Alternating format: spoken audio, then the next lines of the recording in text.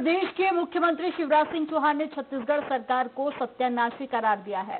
Chhattisgarh BJP के जनसंवाद कार्यक्रम को संबोधित करते हुए उन्होंने कहा कि राज्य में अराजक शासन चल रहा है और जब रमन सिंह मुख्यमंत्री थे तब छत्तीसगढ़ का मतलब क्रेडिबल छत्तीसगढ़ हुआ करता था, लेकिन आज इसके मायने बदल गए हैं।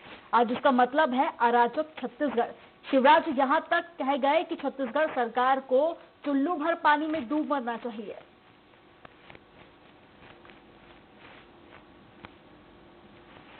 सारे काम निर्माण के विकास के ठप हो गए सिर्फ़ केंद्र सरकार के नरेगा के काम को छोड़ दिया जाए तो आज पूरे काम पूरे प्रदेश में पूरी तरीके से बंद हो चुका है।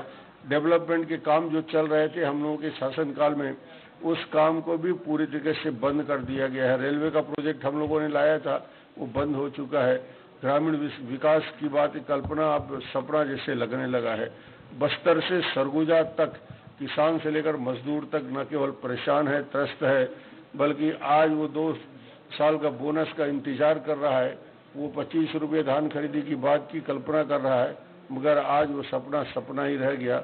और ये सरकार निश्चित रूप से रेत माफियों के हाथ में, शराब माफियों के हाथ में खेल रहा है। चलिए, रुक करेंगे एक बड़ी खबर का